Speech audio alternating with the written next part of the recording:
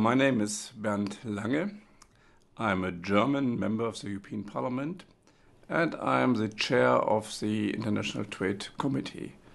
And of course, the International Trade Committee has a vital role in the negotiation process of trade agreement. We are monitoring the uh, trade negotiations.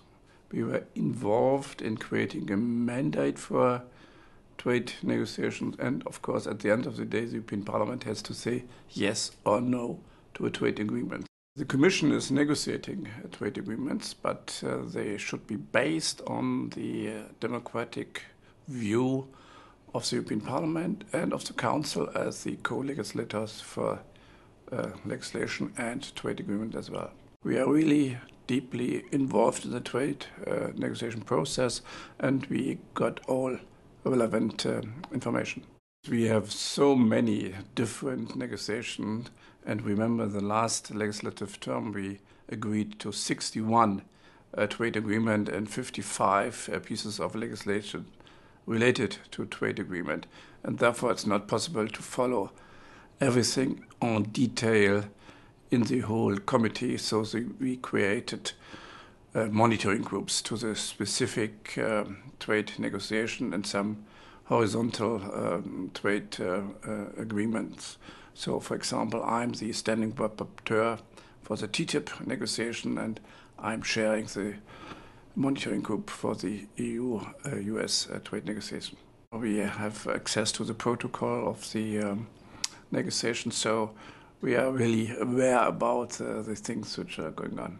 We have a clear mandate for the parliament. We adopted uh, a resolution for each of the trade negotiations, and this is our guidance for the uh, negotiation process. And sometimes it's necessary to have a dialogue with the Commission to make clear these are our important points for the negotiation. For example, in the TTIP uh, negotiations, we made a specific uh, monitoring group on the sustainability chapter on labor rights and environmental rights to dis discuss uh, with the Commission our uh, priorities.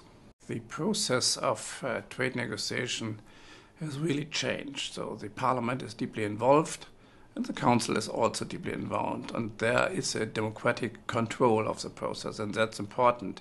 Before 2009, I'm not sure that parliamentarians from the member states are really involved, and this was a really democratic process. But now it is, and we are really serious inside the European Parliament and uh, not shy to reject uh, a bad uh, agreement. So we are really uh, keen to use our democratic power to judge about uh, trade agreements. Transparency is absolutely necessary, and this was a big mistake, especially in the start of the TTIP negotiation.